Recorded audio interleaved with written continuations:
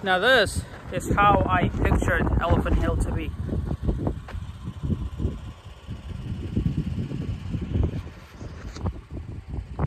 If you look at the gentle road over here, right? Just sweeping through the valley.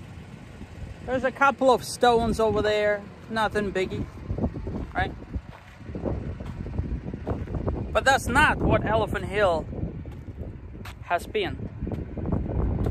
Um, from a visual standpoint, and again, you know, I have to reinforce the notion. Um, oh, by the way, uh, while I'm here, I might as well. Uh, this black stuff over there, that's called uh, cryptobiotic soil.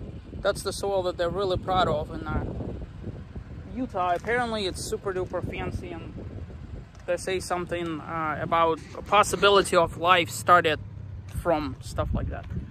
Um, I've been spoiled by a Mexican hat where it's navigable for a person like myself. And then you get like, wow, right? Now, this in Moab is specifically known for off roading, you know, uh, so I do have to give it credit that on that respect, uh, it has basically checked every single box and then some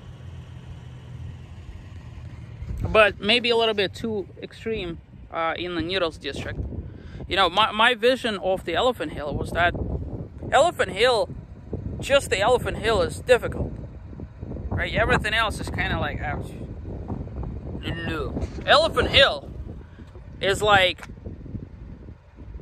third grade arithmetic to the rest of this district being like a multivariate uh, statistical analysis and nuclear string theory combined.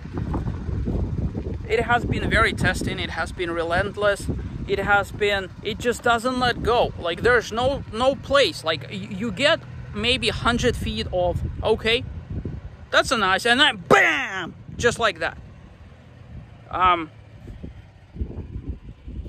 there's steep drop-offs blind corners, blind curves, blind drop offs. Uh, you know, my, is just one heck of a place.